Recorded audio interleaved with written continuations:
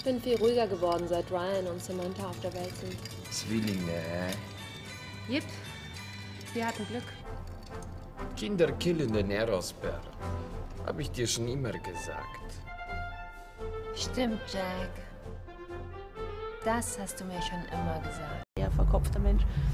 Das ist äh, anders als Deutsch und es ist irgendwie äh, heimatlicher als Deutsch, weil es ist irgendwie trotz allem, obwohl das Deutsch jetzt auch äh, viel mit mir zu tun hat oder gefüllt ist, ist das irgendwo so ein bisschen der Spruch vom Herz. So wie ich jetzt rede, äh, ist eigentlich so, wie meine Schwester und ich früher geredet haben, wenn wir Deutsche gespielt haben.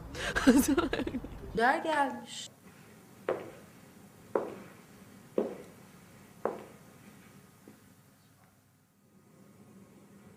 Selin,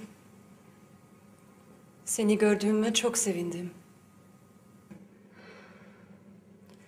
Mektuplarını sana geri yolladığım için kendimi korkunç hissediyorum.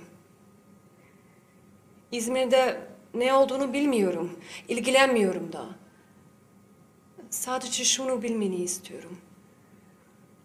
Her ne söylediysen seni affettim. Yok ya. Beni affettin öyle mi? Sana söyleyecek hiçbir şeyim yok benim. Aa dur.